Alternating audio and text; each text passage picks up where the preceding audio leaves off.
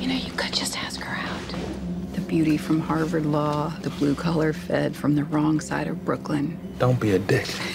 Let's go. LAPD just found an unidentified female body in a garage dumpster. What are we doing here, guys? Body appears to have been bleached inside and out. Ray, what is it? It's Carol. It's your daughter. What?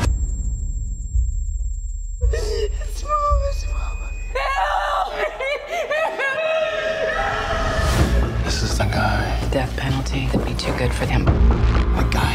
I can't have you question him. You're letting him go, aren't you? I'm sorry. He's guilty. We can't just let him walk.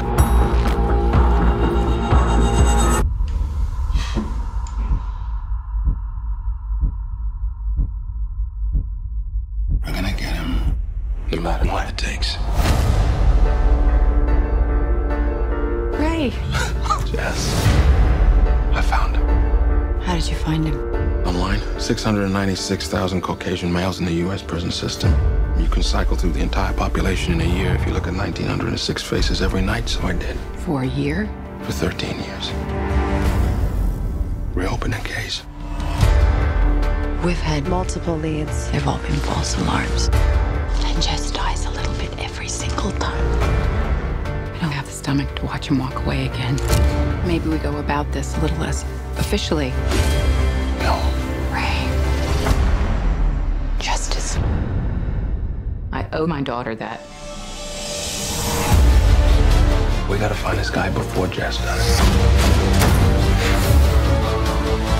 My daughter was the thing that made me me.